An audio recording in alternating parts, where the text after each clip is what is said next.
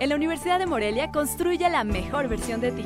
Estudia tu carrera en tres años en las áreas de la salud, humanidades, económico-administrativas, videojuegos y arte digital. udemorelia.edu.mx, teléfono 317-7771.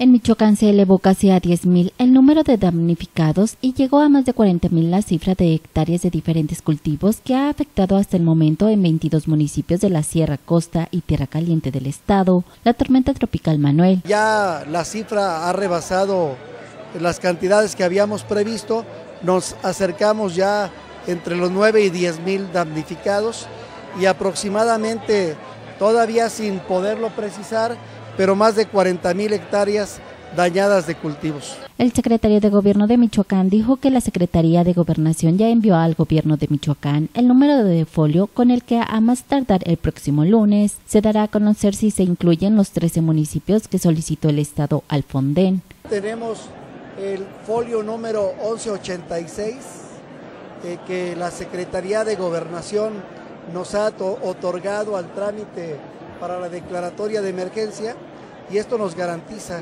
que estamos siendo considerados y seguramente el próximo lunes, que es día hábil, estaríamos apareciendo en el sistema. Después de los desbordamientos de ríos en Huetamo y San Lucas, ahora fue en Tiquicheo, donde 30 viviendas resultaron inundadas. El río en Tiquicheo excedió sus cauces, se salió de sus cauces y afectó 30 eh, viviendas. Fueron desalojadas 30 familias, oportunamente se dio la alarma a través de protección civil y el día de hoy fueron desalojadas.